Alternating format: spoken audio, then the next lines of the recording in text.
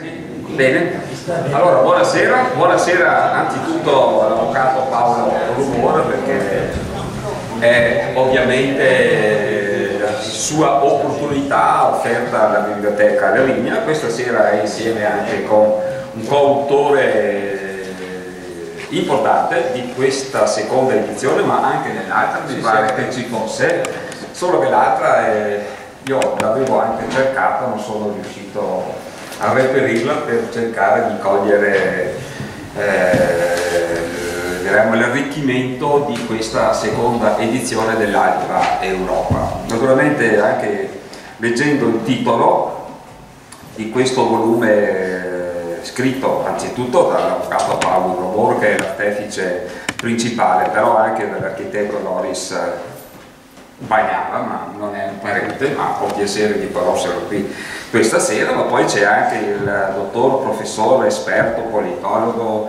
e di tante altre rami scientifici eh, Giorgio eh. Siamo qui a una seconda edizione definita appunto riveduta e ampliata di miti, congiure ed enigmi all'ombra dell'unificazione europea. E allora non possiamo dimenticare che l'anno scorso abbiamo celebrato i 60 anni, dal 1957 dalla costituzione o fondazione dell'unità eh, europea. Avevamo scoperto poi a dicembre del 2016, presentando l'altro volume di tipo storico-familiare con la riscoperta della grande famiglia dei rumor e a Vicenza una bella interessante perché io che mi accingevo a tenere una conferenza all'Istituto Rezzara ho avuto la possibilità di allungarla ripartendo invece che dal 600 della famiglia Rougon addirittura dal 400 e quindi eh, devo dire è stato un volume eh, senz'altro interessante che naturalmente era in grado anche di leggere e di capire in maniera più eh, ponderata. E qui devo dire mi sono trovato di un certo imbarazzo, non solo perché la mole è piuttosto notevole, ma poi perché il tema di questo evento importante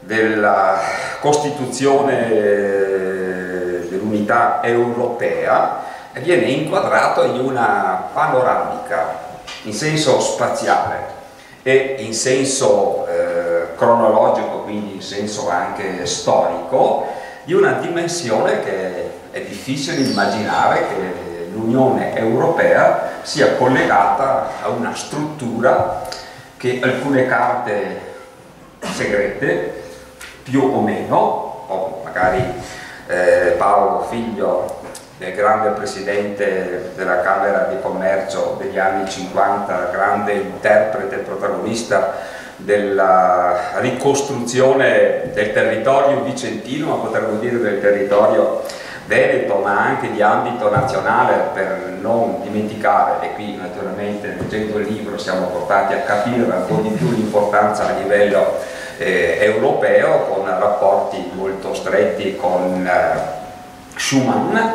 eh, però ma anche con il signor Montini, Papa Paolo V, magari qualche cosa anche collegato al cardinale Spellman, per cui avete una visione leggendo questo libro che indubbiamente con grandi punti interrogativi questa Unione Europea rientra in un progetto grandioso, grandioso con tanti eh, punti oscuri con tanti apporti misterici, possiamo dire, o esotici, per cui solo chi l'ha scritto, chi ha dato degli apporti può fornire degli elementi, però lo stesso avvocato Paolo si pone tanti interrogativi e anche spesso ricorda che ha preso nota di ciò che ha sentito raccontare o di ciò che ha intravisto però non avendo la cognizione precisa e puntuale di questi specifici riferimenti. Quindi un libro interessantissimo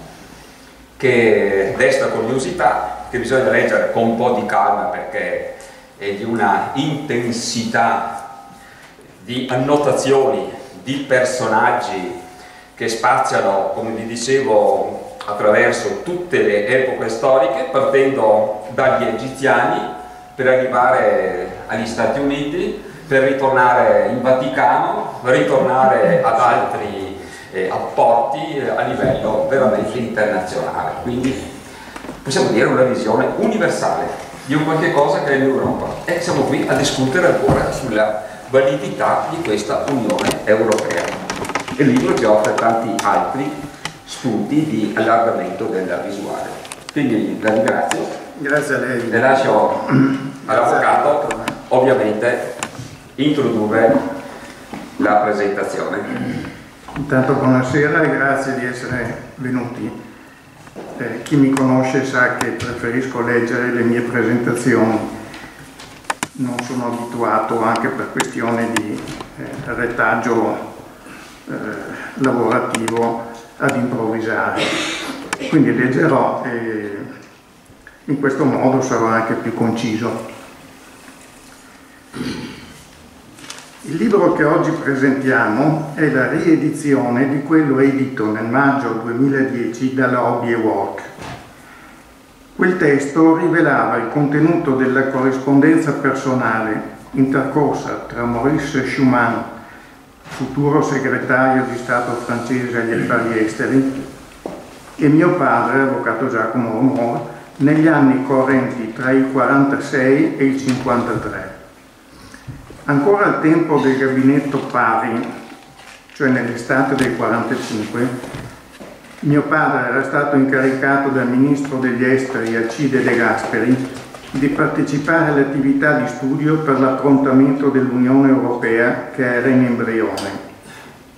E durante gli incontri di questa funzione era sorto con lo statista francese un rapporto di reciproca stima mi rendo conto di eh, annunciare, di dire cose che eh, forse pochissimi di voi sanno, anche dei miei parenti. Dei miei parenti credo nessuno abbia conoscenza di questo, sia perché mio padre non ne parlava e ne parlava poco anche in casa nostra, sia perché io stesso mh, mm, non ho ritenuto di parlarne con altri. E quindi prima dell'incarico della Camera di Commercio per cui lui è conosciuto a Vicenza, ha avuto questo intervallo di un paio d'anni in cui ha prestato queste funzioni nella, nell'ambito di un'Unione Europea che ancora non si chiamava così, ma veniva formandosi in maniera del tutto eh, diciamo nascosta, anche se non era questa l'intenzione, veniva formandosi in gabinetti in mh, settori privati delle ambasciate o dei ministeri. Nell'ambito di questa amicizia Schumann gli aveva confidato che il nucleo più intimo dei fautori dell'Unione apparteneva a un gruppo di persone aderenti a una struttura esistente da lunghissima data diceva che nel corso delle epoche storiche essa aveva assunto varie denominazioni per dissimulare la propria identità e che aveva influito negli avvenimenti del passato come stava facendo anche nel presente. E quando parlo di presente intendo presente anche di adesso. Questa entità retrocedeva nel tempo dal XIX secolo fino a un periodo molto remoto in cui avrebbe costituito sostanzialmente il primo organismo civile complesso nel bacino meridionale del, Mediterraneo. Schumann aveva consegnato a mio padre un elenco di personaggi, alcune centinaia di nomi, componenti quella struttura nel corso dei secoli, nonché alcuni disegni costituenti mappe geografiche e planimetrie che illustravano alcune località dove essa, quella struttura, era esistita, aveva avuto origine e i suoi luoghi di operatività. E anche questi erano diversi fogli datiloscritti o eh, pennarellati. Quel materiale era sempre rimasto nella nostra abitazione di Vicenza, dove io abitavo da giovane in porta e incontra a Portanova. Era sempre rimasto lì nella camera paterna e io ogni tanto andavo a curiosare per leggere i nomi, trascriverli in alcuni miei appunti e consultare l'enciclopedia Treccani in modo da capire a chi si riferivano o cosa significassero. In questo modo quegli appunti sono rimasti con me anche dopo che mi ero sposato e avevo cambiato casa. Lui, il papà, è morto nel febbraio 81. L'appartamento è stato sgombrato quando è mancato l'ultimo fratello Domenico nell'88 ma dopo lo svuotamento dell'abitazione non sono più riuscito a rientrare in possesso di quell'incartamento, sicuramente disperso per incuria dei parenti che vi avevano messo mano nonostante i miei avvertimenti. Come ho detto, avevo con me gli appunti e alcune copie di planimetria in carta carbone. Con questi ho ricostruito come riuscivo il materiale originario di Schumann facendone un'elencazione quanto più precisa. Poi nel 2004 l'ho depositata alla Biblioteca Civica Bertogliana di Vicenza, alla sezione scritti politici, e non ci ho più pensato. Anni dopo ho letto il libro del professor Giorgio Galli, che è uno dei, ancora in vita, uno dei più significativi politologi nazionali, a parer mio forse più grande, il libro dal titolo Enrico Mattei, Petrolio e complotto italiano, edito dalla Dalai. E ho notato la vicenda dell'ottobre 1962 relativa all'incidente aereo di Mattei, presidente dell'ENI. Io sapevo che mio padre era stato buon conoscitore di Mattei ancora dal tempo della Resistenza e che loro due si erano incontrati poi nell'ambito delle attività di ricerca del petrolio nell'Alto Adriatico, uno come presidente dell'ENI, Mattei, l'altro mio padre della Camera di Commercio di Vicenza. Allora mi sono risolto a telefonare al professor Galli, che non conoscevo, per dirgli di aver letto il suo libro e di essere al corrente di quell'episodio, cioè che mio padre sapeva che la caduta dell'aereo di Mattei a Bascapè, vicino a Milano, fu la conseguenza di un attentato, come aveva ipotizzato Giorgio Galli nel suo libro. A mio padre risultava inoltre che le iniziative di Mattei nell'ambito delle forniture energetiche italiane si intrecciavano in qualche modo con alcuni personaggi che operavano, nell'ambito dell'Unione Europea cosa di cui era a conoscenza anche il Vaticano, in particolare Monsignor Giovanni Battista Montini, futuro Papa Paolo VI, che era stato l'assistente ecclesiastico del papà al tempo della Fuci. Per un altro verso, lui si era anche reso conto, e questo me lo disse quando ero cresciuto, che elementi concreti e attuali dell'Unione avevano degli agganci che peraltro non riusciva a comprendere con persone estranee al movimento europeo, le quali tuttavia lo intersecavano senza una funzione apparente.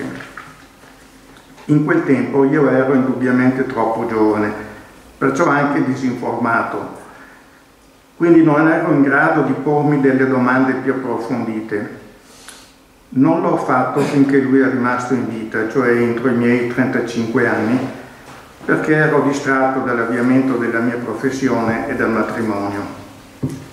Molto più tardi avrei cominciato a collegare quelle sue parche osservazioni con ciò che accadeva nel mondo, intuendo che forse c'era un nesso reale tra la documentazione di Schumann e gli avvenimenti politici o geopolitici.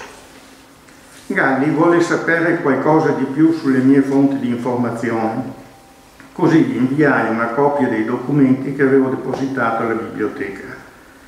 Poi ci incontrammo da lui a Milano e dietro al suo suggerimento ci accordammo per scrivere un libro in cui io avrei esposto nel modo più organico che potevo ciò che avevo sintetizzato per la biblioteca di Vicenza e lui gli avrebbe aggiunto un'interpretazione come politologo.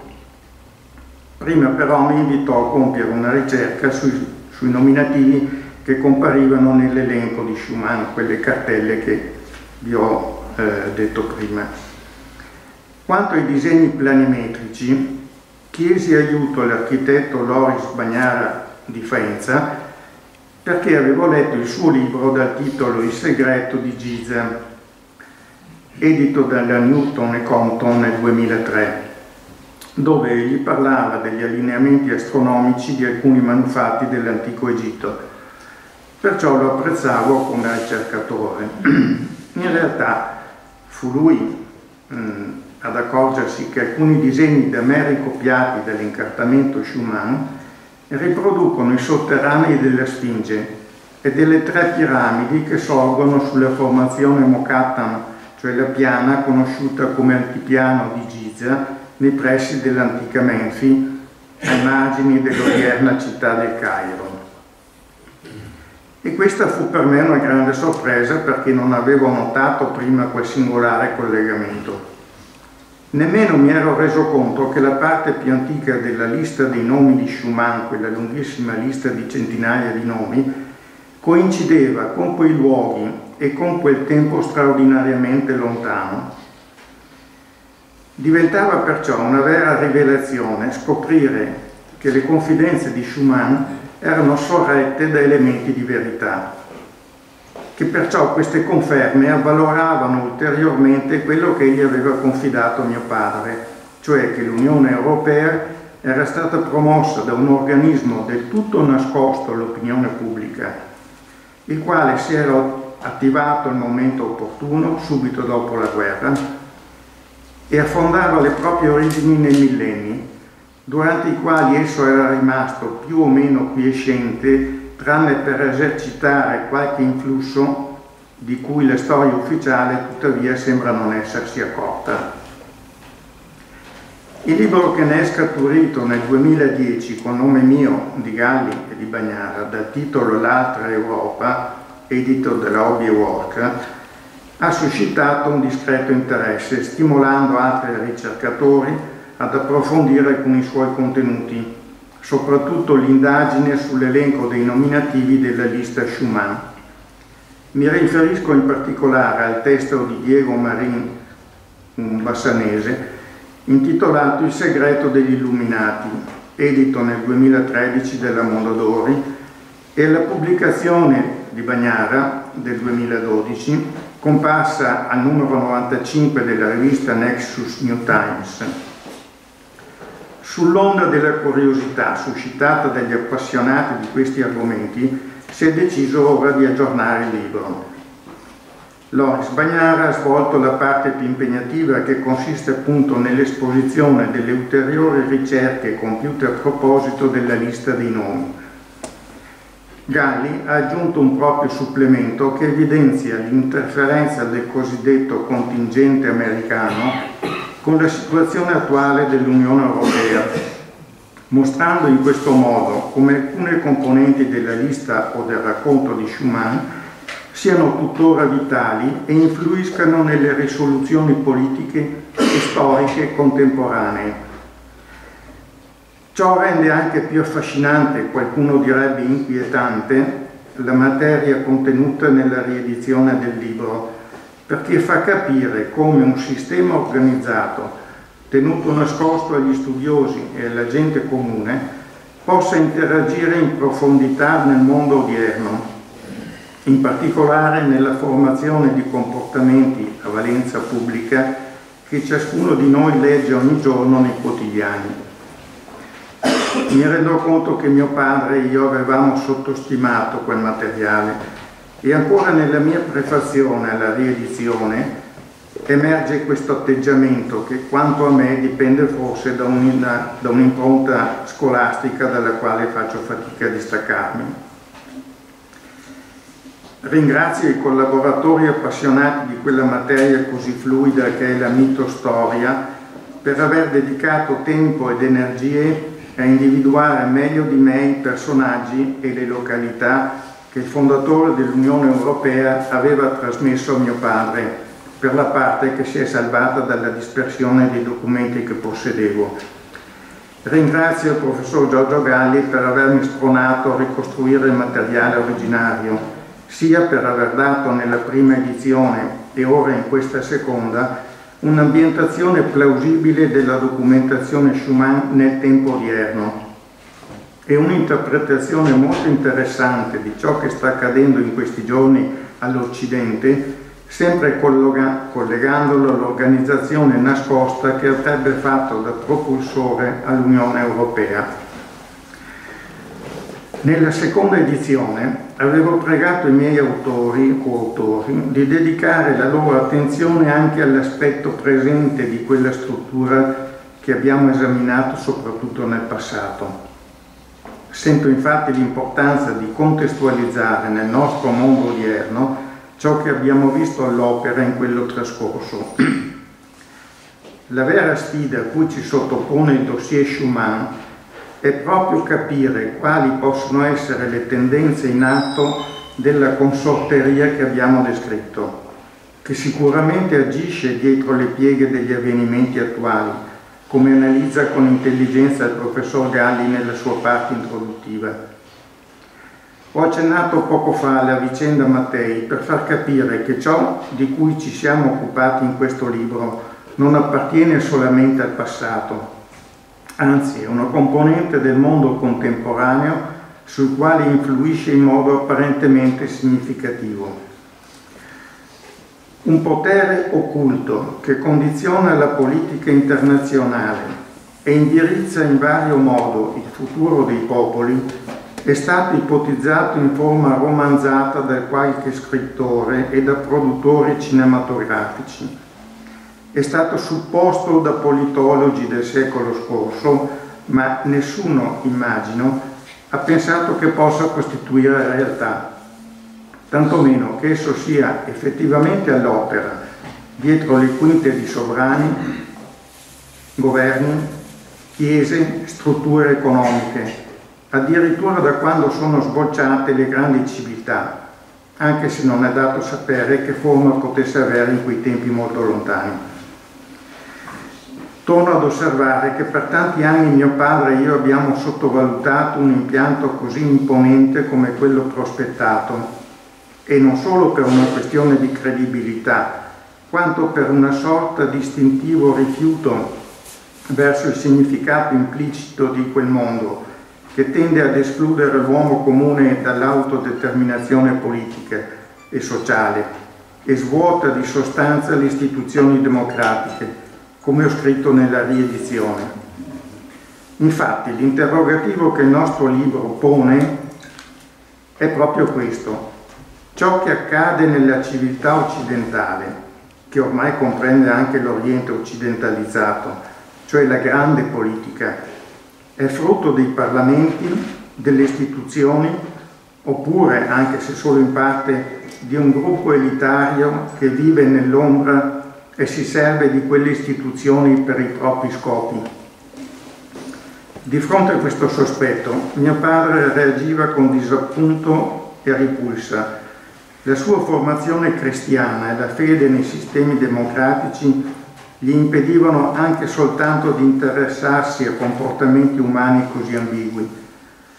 Eppure ricordo che egli non è riuscito a liberarsi del sospetto che qualcosa possa realmente verificarsi all'ombra delle istituzioni.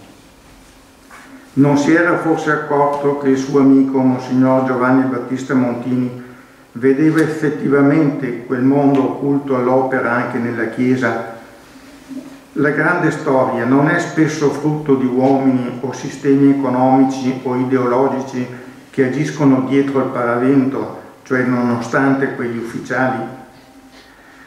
Talvolta, parlando con lui di questo, ho avuto l'impressione che gli sia rimasto il pensiero molesto secondo cui, a certi livelli, le democrazie possano andare sfumando in un ambito sempre più verticistico, dove si pianifica con tutta calma un avvenire di cui i popoli nulla sospettano. Questi interrogativi, se li sarà, posti, ah, se li sarà posto anche qualche d'un altro di coloro che lavoravano dopo la guerra al progetto di unione, il quale probabilmente si è accorto che quell'impianto grandioso non nasceva dal nulla, ma riceveva per così dire un prestito confezionato. Ne ho indicato qualcuno nel libro, altri mi hanno pregato di non nominarli e ora certamente non sono più in vita. Indubbiamente qualcosa di strano si muoveva alla radice dell'idea di Europa e io sento che si dovrebbe fare chiarezza come mi sono risolto dopo tanto tempo che tenevo nell'armadio queste memorie. In effetti con gli anni mi sono convinto che quel materiale deve essere preso in seria considerazione, senza formulare giudizi a prioristici.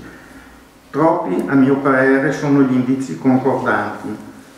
Sicuramente può servire a comprendere meglio le forze che agiscono all'interno dell'umanità e a considerare che le società non si comportano sempre in modo lineare, come siamo abituati dallo studio della storia ufficiale, noi tre scrittori di questo libro siamo riusciti, anche grazie all'apporto di terzi, ad arrivare fin dove il materiale consegnato a mio padre ce lo permetteva.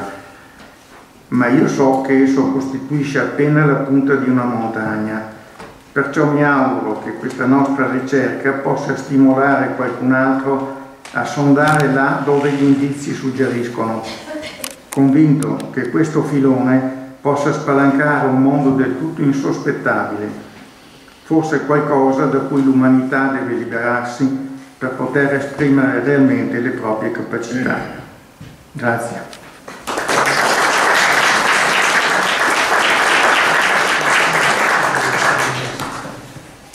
Grazie per essere qui. Intanto adesso io proseguirei portando alla vostra attenzione alcuni dei contributi specifici eh, che ho dato al libro come accennava Paolo Mor nella, nella, sua introduzione. Per far questo avrà bisogno poi del supporto delle, delle immagini, ma intanto diciamo subito, fissiamo subito il concetto fondamentale. Eh, uno dei temi fondamentali del libro è quello della struttura. Che cos'è la struttura?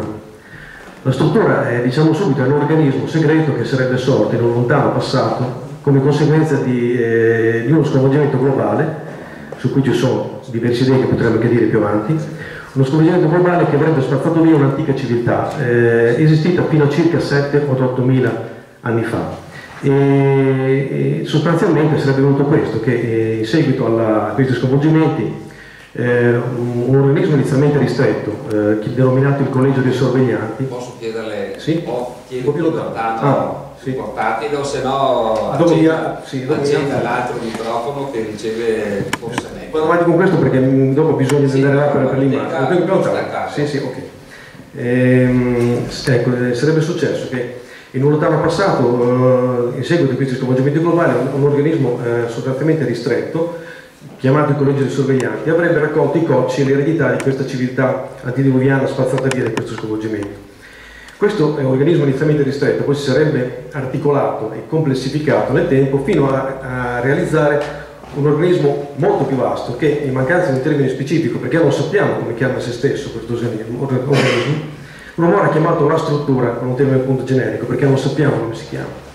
Ma questo organismo avrebbe attraversato l'intera storia da questo passato diluviano fino ai giorni nostri, portando avanti, come diceva l'avvocato Rumor, un proprio progetto di organizzazione della, del mondo occidentale in generale, ma in particolare dell'area europea e, e, mediterranea in particolare. Ora, nelle carte di Durmor ci sono dei documenti che eh, fan, illustrano quella che era la geografia antidiluviana. Adesso vado a, a mostrarvi con l'ausilio delle immagini.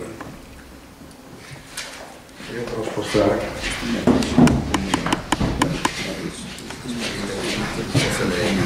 Sì, sì, faccio io perché così riesco anche a vedere. Riesco anche a vedere ah. Sì. È andato in pausa. Ecco. Uh, bisogna rientrare. Aspetti che ho sì, chiamato. Sì, sì, ecco, questo muovere dentro. Eh? Sì, però bisogna rientrare credo ecco, nella... Adesso arriva. Sì, ok.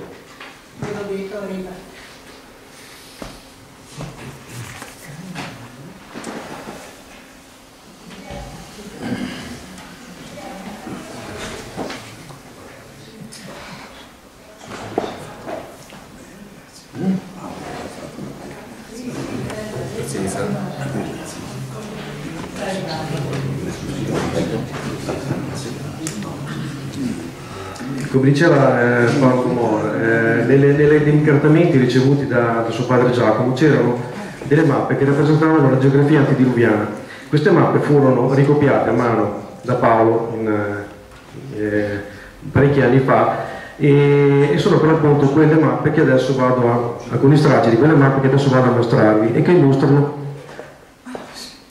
quelle che è la geografia antidiluviana e rappresentano alcune delle aree in cui la civiltà, quella remota civiltà, era insediata e, e sono, eh, illustrerò poi in dettaglio che cosa, quali regioni sono rappresentate. Ma la cosa subito da dire è che non rappresentano eh, profili costieri, aree geografiche come apparirebbero oggi, ma... Sì, esatto ma rappresentano una geografia che risale per l'appunto ad almeno 8-10 mila anni fa, quando il livello del mare era notevolmente più basso rispetto all'attuale e quindi il profilo delle coste si spingeva molto più avanti nell'estensione eh, marina. Cosa rappresentano queste immagini? Possiamo dire innanzitutto quella più grande, in basso a, a destra, rappresenta il Golfo Persico. Il Golfo Persico si può riconoscere eh, l'imboccatura sull'Oceano Indiano in basso, lo stretto di Hormuz con la penisola di Dubai e tutto il resto del, del bacino. Ho ricalcato, in, eh, ho, ho, reso più leggibile questa immagine ricalcando il profilo costiero attuale eh, che si spinge fino all'attuale eh, Kuwait e, Iraq.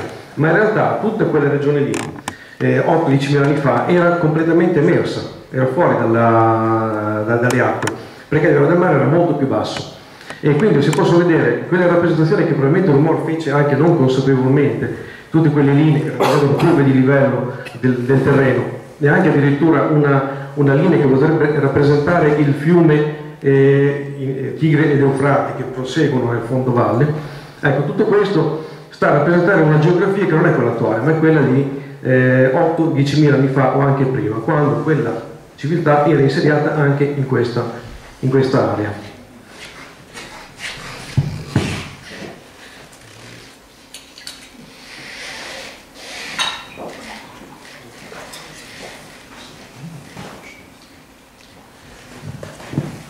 Altre regioni che vediamo rappresentate, altri stracci eh, ricopiati da Paolo Amor, dagli originali che ripetiamo non sono più disponibili perché sono andati dispersi. In alto a, a destra, in questa immagine possiamo vedere una, un, uno straccio del Mediterraneo, si riconosce la, la, la penisola, la punta della Calabria, la Sicilia e la eh, parte della, della, Tunisia, sotto c'è la scritta Antemelita. In realtà non, non corrisponde al profilo costiero attuale, ma corrisponde a com'era effettivamente quell'area del Mediterraneo in quei tempi, quella, in, in, quella, in quell'età quando il Mediterraneo anch'esso era molto più basso e praticamente l'isola di Malta era congiunta alla, alla parte meridionale della, de, della, Sicilia e quindi tutte le coste apparivano leggermente diverse da come, da come appaiono adesso. Antemelita è il nome che eh, Malta, l'isola di Malta, aveva in età romana, quindi eh, è, un nome che è riportato nei documenti eh, di Romor nelle mappe ricopiate da, da Paolo Romor. Ehm, ecco, in, in, alto a sinistra possiamo vedere un altro straccio del Mediterraneo dove è rappresentata l'isola di Galonia, un'isola che in realtà non troviamo nelle, nelle, mappe attuali, ma non, non, si riesce neanche esattamente a capire a che cosa corrispondesse in realtà, perché non, è, non, è, non si riesce a identificare quale porzione emersa di, del, del Mediterraneo possa possa corrispondere. Era comunque un'isola che veniva citata già in antichità, in età classica, eh, veniva citata quest'isola di Galonia, eh, senza però avere appunto la possibilità di riuscire a identificarla più, più precisamente. Evidentemente era un'altra porzione di terra emersa nel Mediterraneo che eh, oggi non è più, non è più eh, riscontrabile. Invece in basso, l'ultimo stralcio che vediamo in basso è molto più lontano, fuori dal Mediterraneo. Eh, Colma rappresenterebbe, eh, è una, un nome che in età eh, rinascimentale era, era, attribuito a Cuba, quindi tutte quelle regioni lì rappresenterebbe la regione caraibica, eh, le Antille, Cuba eccetera e quindi il profilo che si vede più, più ancora a sinistra potrebbe rappresentare quello della, della, dell'America, della terraferma dell'America. Quindi ecco, questo farebbe capire la presenza anche quindi della, della regione caribica e dell'America farebbe capire che la, la, la, struttura e quella civiltà antediluviana non era limitata eh, solamente all'area mediterranea eh, e, e, medio orientale, anche se in particolare era, era limitata, era incentrata in quell'area lì, ma evidentemente si spingeva anche, anche oltre, anche, anche, più in là, eh, quindi in una buona porzione del, del mondo, del mondo eh, antico. Andando avanti, sempre questo excursus di carattere storico, che è un po' quello che è stato il mio contributo più, eh, più, più specifico alla, a, a, questo libro, magari poi potremo lasciare alle vostre domande a fine della presentazione eh, fare, fare, un focus su quello che è la struttura eh, al momento, nel giorno nel momento presente. Andando avanti, eh, vediamo, ecco, eh, come diceva eh, l'Avvocato Rumor nella sua eh, presentazione, che ha accennato all'esistenza di, eh, di, mappe e di disegni che rappresentavano la planimetria di, di Giza. Qui potete, mm, e in particolare la Sfinge, qui potete vedere alcune, eh, la riproduzione di, di, mappe di questi disegni, ricopiati anche questi da Paolo Rumor, ricalcati, se non ricordo male, da Paolo Rumor sulla base degli originali, anche in questo caso non più disponibili. Eh, fu io, come diceva l'avvocato, a, a, riconoscere che in alto a, a, destra abbiamo una rappresentazione della, della spinge. Eh, è appena accennata, si, si intravede appena la testa, la testa, del leone della spinge. Al di sotto eh, è rappresentato un grande locale, ipogeo, contrassegnato dalle lettere PR, mentre la spinge è contrassegnata dalle lettere AK. Poi dirò quali possono essere i significati di queste lettere. Eh, in basso invece dall'altra parte della slide potete vedere una rappresentazione eh, in planimetrica della stessa area eh, dove ci sono le lettere A, R, V e H, eh, è sempre l'area della spinge. E, ecco, però abbiamo una, una rappresentazione planimetrica a livello eh, sotterraneo, sotto il livello del terreno. E, e dalla, dall'area della spinge si ripartono verso le tre piramidi di Giza, che sono appena accennate, sono quei, eh, quei, quei segmenti verso cui si dirigono quei tre, eh, quei tre conicoli. Quindi sostanzialmente abbiamo una situazione, una rappresentazione di ambienti, ipogei e conicoli al di sotto della, della um, piana di Gira. Eh, ecco, eh, quelle lettere hanno, come dicevo, hanno un significato, hanno una, una valenza nella, nel contesto eh, dell'antico Egitto, anche se magari quando rumore, quando le ricopiate non era consapevole perché eh, intanto poi dirò bene meglio qual è, eh, qual è il significato di quella um, stanza contrassegnata con, eh, con, le lettere PR. Intanto dirò subito che PR è un geroglifico che in, in Egitto è, è, il suono, il fonogramma di un geroglifico che in egizio, in antico egizio significa casa, e mentre RV è il fonogramma, che vedete nella pianta, è il fonogramma di, del, um, di un geroglifico che significa leone, quindi si associa alla spinge, quindi è coerente, è congruente con col, col contesto, non sono lettere buttate lì.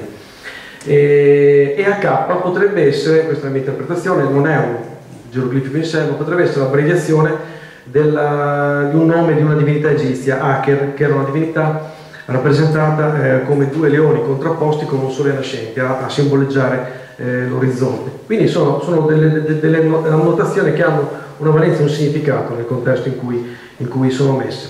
Prima di andare oltre, di spiegare qual è l'importanza di quel locale contrassegnato con le lettere PR, però oh, fece un'osservazione, questo ancora ai primi tempi del nostro rapporto con, uh, con l'avvocato, quando cominciai a studiare queste carte.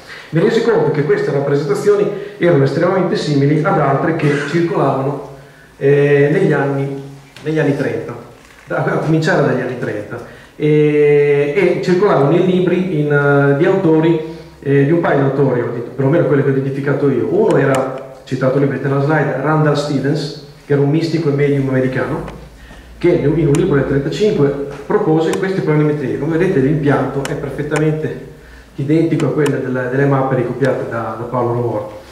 E questo è un caso, ma eh, eh, l'anno dopo un altro autore, Spencer Lewis, nel 1936, pubblicò qualcosa di estremamente simile. Vedete, cambiano un po' i dettagli, come sono rappresentati i locali ipogei, come è rappresentata la spinge, le colonne, come sono fatte, però l'impianto è esattamente lo stesso.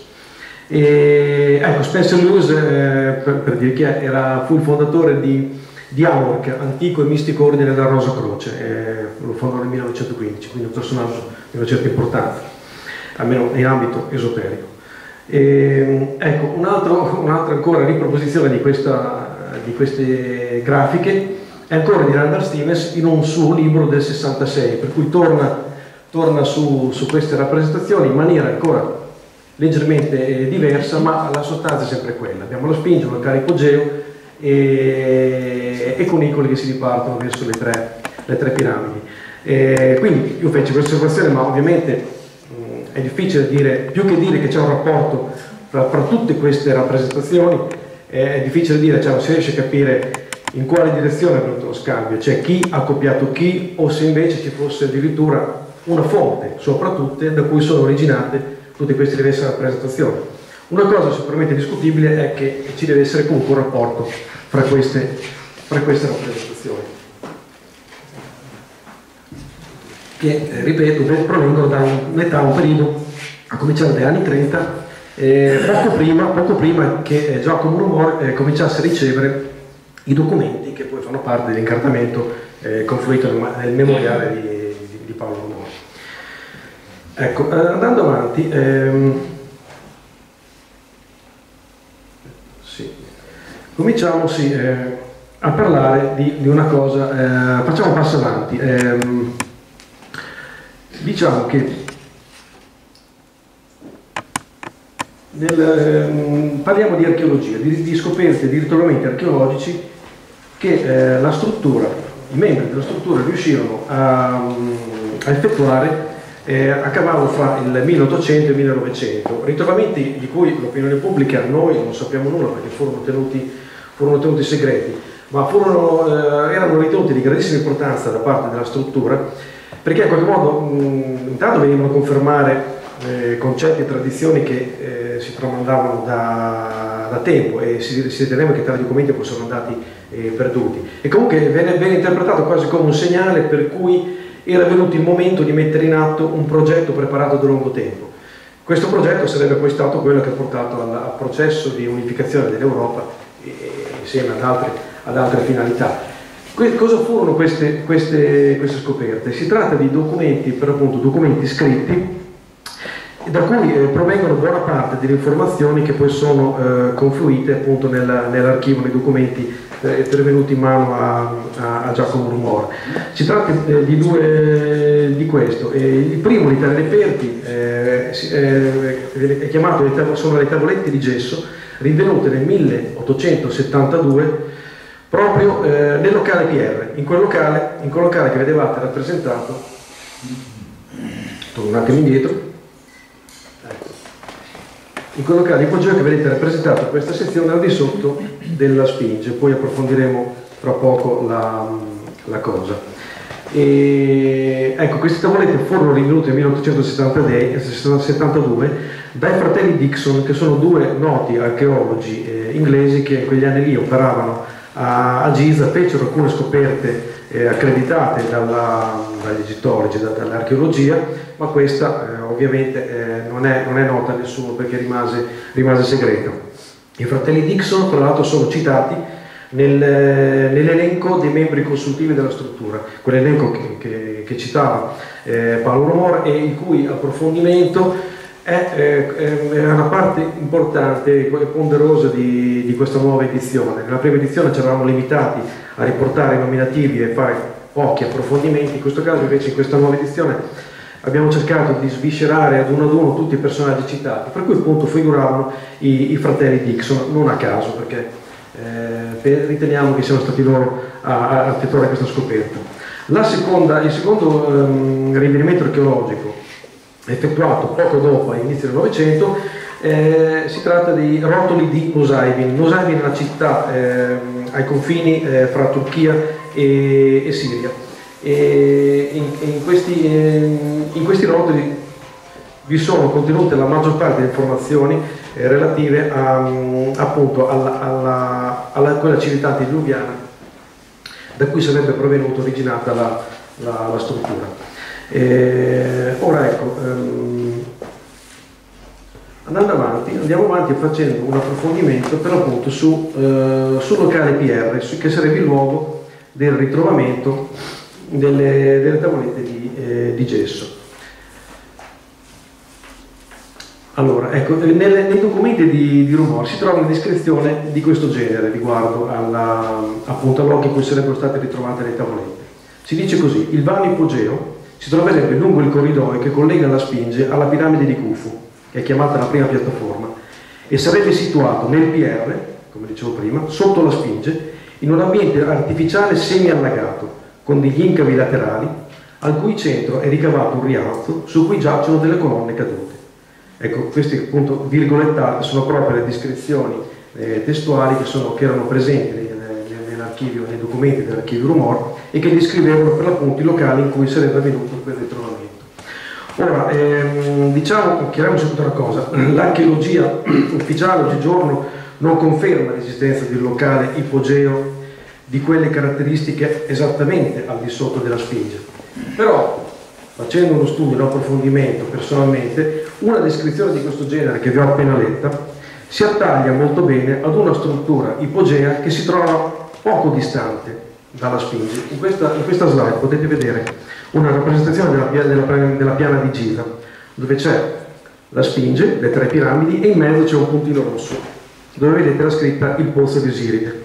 A destra in questa slide c'è una rappresentazione assonometrica di, di una struttura ipogea che si trova dove vi è quel contrassegno rosso, quindi è una posizione praticamente intermedia fra la Spinge e la piramide di Kafren eh, o Kefren e praticamente al di sotto della via rialzata che collega il tempio a monte della piramide di Kefren con il tempio a valle, sempre della piramide di Kefren, e che tempio a valle che si trova poco oltre la Spinge. Ebbene, potete vedere chiaramente che ecco, questa struttura ipogea è caratterizzata da eh, diversi eh, condotti verticali di discesa e da tre livelli, eh, tre, un primo livello, un secondo ed un terzo, che se ricordate descrizione appena letta, in cui si parlava di un'isola circondata da un canale allagato con, mm, invaso dall'acqua e quest'isola con colonne agli angoli, eccetera, Ecco, quella descrizione che abbiamo appena letto, che ripeto si trovava negli incartamenti di Rumor, corrisponde molto bene a questo terzo livello, il livello più profondo, di quello che si chiama che è il pozzo di Osiride. Questa struttura ipogea è nota da poco tempo, perché è stata eh, scoperta da Zai Abbas, che è il sovrintendente dell'autorità, eh, sovrintendente ai beni archeologici del, del, dell'Egitto, stata scoperta nel 1999 in realtà stata, ehm, era, era, nota già almeno dagli anni 30, eh, quando fu individuata dall'archeologo Selim Hassan, l'illustre archeologo Selim Hassan, ma non poté eh, arrivare al livello più profondo perché allora struttura, questa struttura era completamente invasa dall'acqua, perché eh, la falda freatica della piana di Giza allora era anche molto più alta di, di adesso e la struttura era completamente invasa dall'acqua. Eh, Zai Abbas, poco meno di vent'anni fa, riuscì a drenare completamente l'acqua e quindi a liberare questa struttura dalla, dall'acqua e in questo modo soltanto adesso siamo in grado di, di eh, vedere come è conformata questa, questa, struttura e siamo in grado di ravvisare che esiste questa eh, stretta somiglianza nella descrizione tra il locale PR e, e, questa struttura che non era nota, ripeto, voglio, bene, voglio, voglio che sia chiaro, non era nota ai tempi di Giacomo Rumor. Quando Giacomo Rumor riceveva questi documenti con le descrizioni che abbiamo appena lette, questa struttura non era nota, non si sapeva che, che, che esistesse se non per l'imboccatura più superficiale, ma non era ancora stata esplorata. Quindi voglio farvi rilevare come appunto sia un fatto abbastanza eh, curioso che, poi, che dovrebbe in qualche modo confermare, essere un elemento a sostegno della credibilità un po' di tutto il materiale, il fatto che esistessero informazioni in questi, in questi documenti che non potevano essere note ai tempi, sostanzialmente.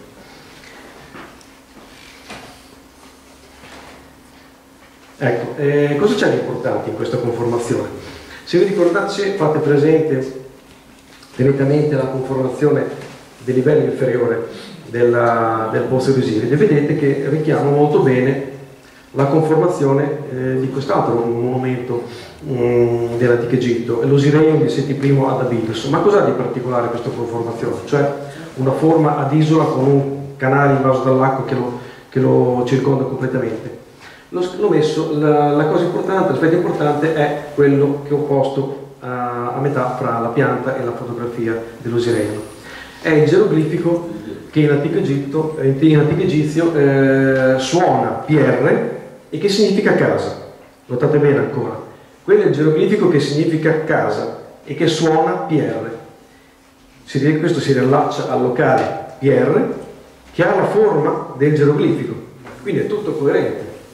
Tutto questo, tutto, tutta questa narrativa è coerente. Eh, c'era una coerenza nel chiamare PR quel locale in cui furono ritrovate le tavolette di gesso, di gesso, perché la conformazione stessa del locale richiamava il geroglifico che suona PR.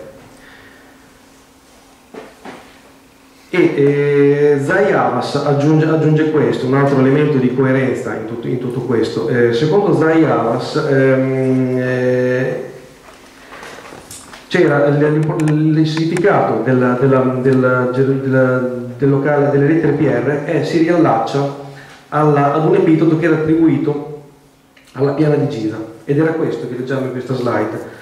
Eh, per Vesir Nebar cioè che significa in antico Egitto casa di Osiride, signore di Rastal.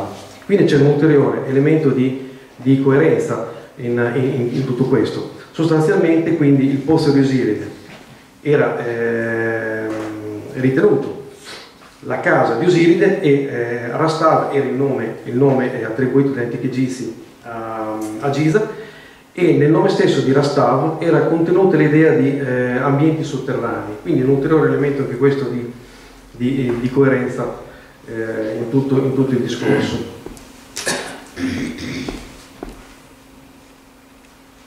Ecco, per tirare le fila di questo, uh, di questo ragionamento, quindi la nostra proposta è che, la mia proposta è che eh, sostanzialmente il locale PR in cui furono trovate le tavolette di gesso si possa, eh, far, eh, si possa identificare per l'appunto con il, livello inferiore del pozzo di Osiride anche se non, va, non, va, sottaciuto il fatto che esiste un elemento di, eh, di difformità, eh, nel senso che cioè nel, nella, nella, mappa ricopiata da Paolo Rumor il locale PR figurava esattamente lì sotto della Spinge, mentre come abbiamo visto il Pozzo di Osiride non è esattamente lì sotto della Spinge, si trova leggermente dislocato qualche centinaio di metri dalla, dalla Spinge, ma la somiglianza è tale per cui pensiamo che questa identificazione possa essere eh, in qualche modo credibile eh, ed essere eh, ritenuto un elemento anche questo a supporto alla credibilità di, tutto, di tutte le informazioni eh, contenute nell'archivio nell eh, rumore è, è, è venuta anche in altri casi che determinate informazioni fossero riportate in maniera deliberatamente mh, modificata, quasi per mettere in atto mh, deliberati depistaggi. E in qualche caso, qualche altro caso si è riscontrato anche questo. Quindi questo potrebbe essere un altro caso di un deliberato depistaggio nel dislocare diversamente il locale PR. E, ecco, mh, parliamo un attimo, ecco, qual è il contenuto delle delle tavolette di gesso. Che cosa, che cosa viene scritto in queste tavolette?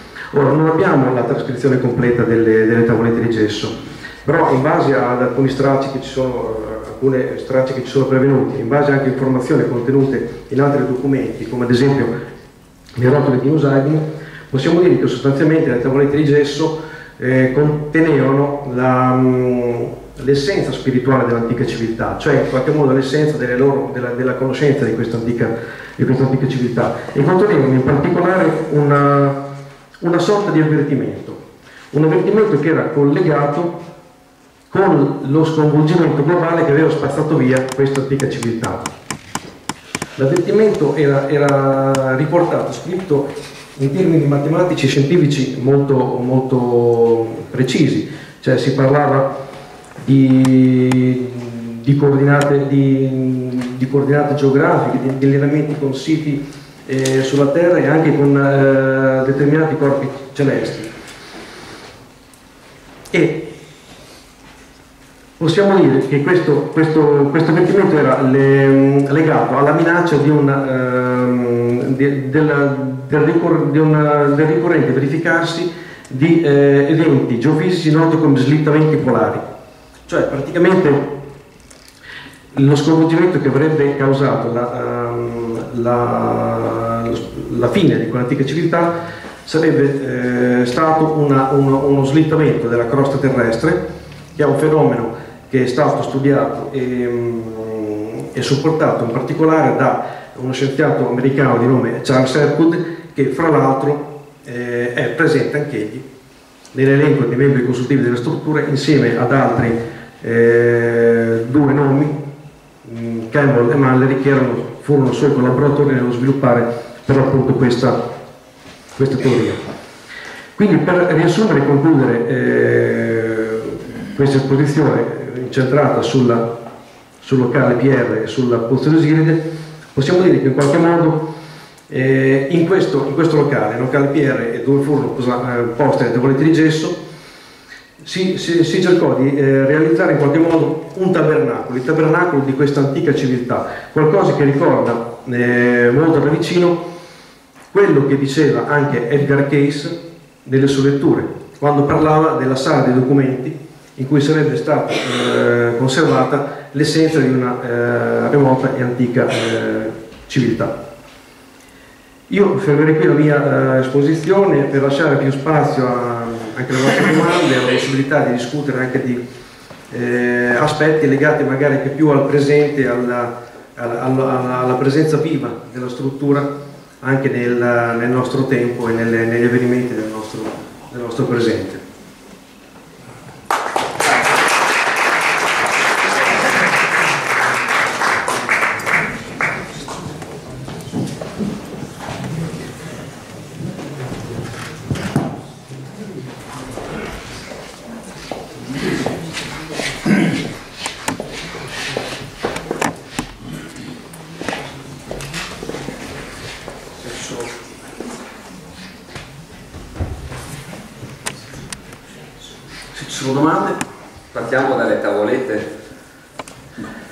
queste misteriose tavolette,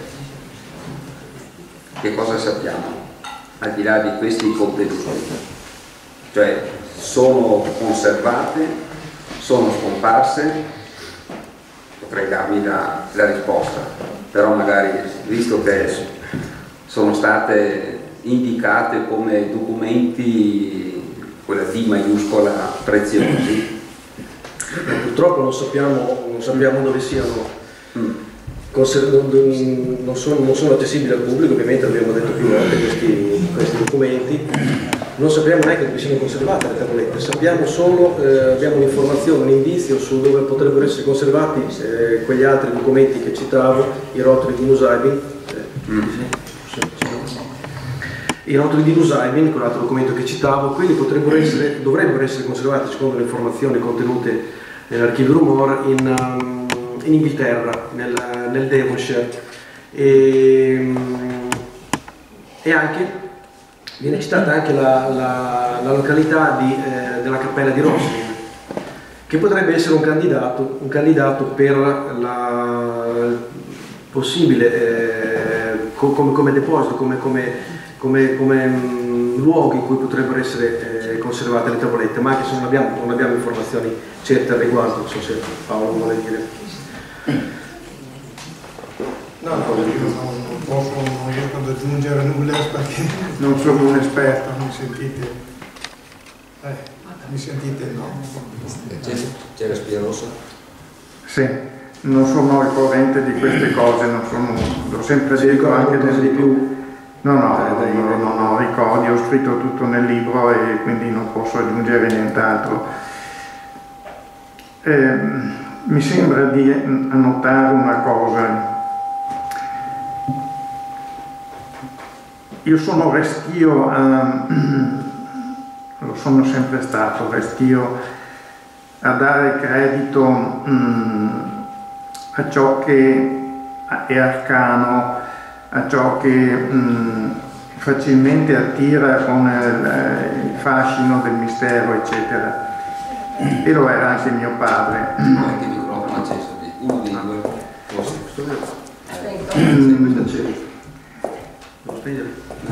Il fatto che questa,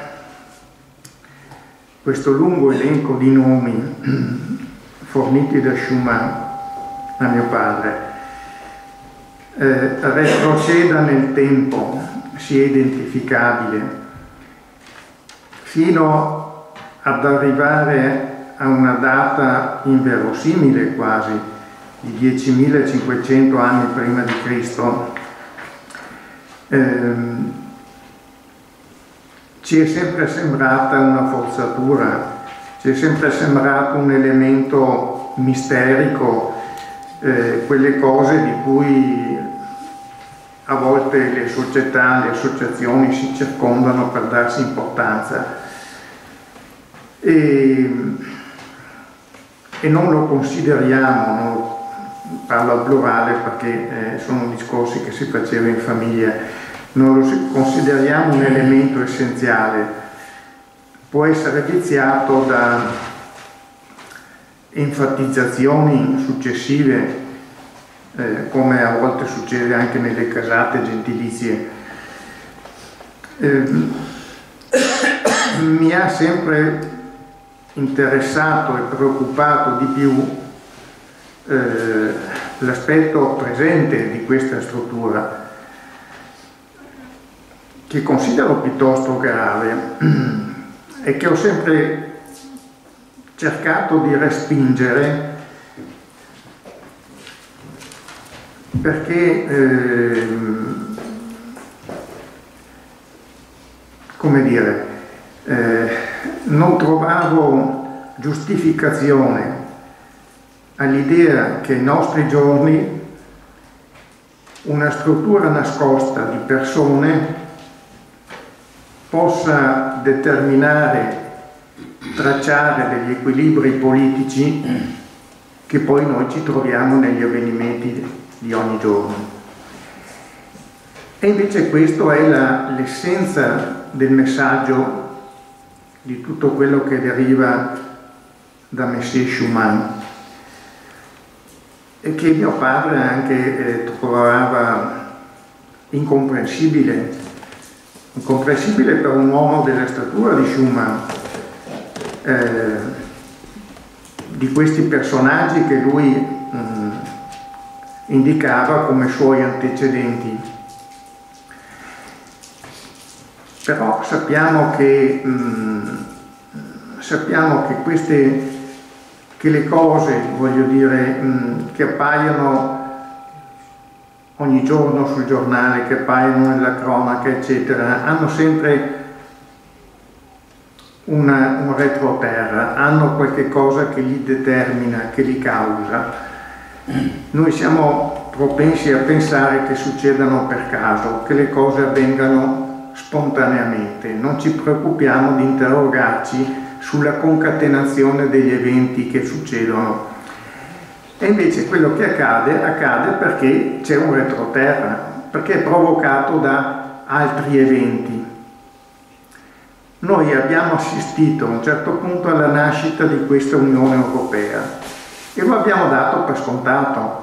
Abbiamo sempre pensato che sia stata una creazione di persone esistenti dopo la guerra che si sono attivate, eccetera, eccetera. E tuttavia non è, eh, se ci pensiamo, non è credibile, non è credibile che le cose maturino all'improvviso, hanno sempre un eh, lungo periodo di incubazione, di maturazione. Lo stesso risorgimento italiano ha avuto almeno 150 anni di incubazione ha fatto riferimento all'impero romano, cioè noi nel nostro, nel nostro cervello abbiamo dei sedimenti che in certi momenti si attivano e travasano nel presente esperienze del nostro passato. Nel caso dell'Europa ci troviamo con un grande apparato contemporaneo che eh, dice di essere stato pensato da molto tempo, da lunghissima data e ci dice quali sono i personaggi che si sono occupati di questo. E o respingiamo tutto come delle fotole, come delle invenzioni o qualcosa del genere, e siamo stati tentati di farlo, oppure dobbiamo prendere il toro per le corna e cercare di capire cosa c'è dietro a questo persone della levatura di Schumann non possono inventarsi certe cose. Altre persone che ho citato nel testo non possono partecipare ad una, ad una consorteria eh, così, diciamo, solo per passare il tempo, solo per darsi importanza. Deve esserci qualcosa di reale, anche perché questo comporta perdita di tempo, comporta a volte perdita anche di valori e altre cose, di credibilità. E noi abbiamo una serie di personaggi di grande calibro, non uomini mediocri.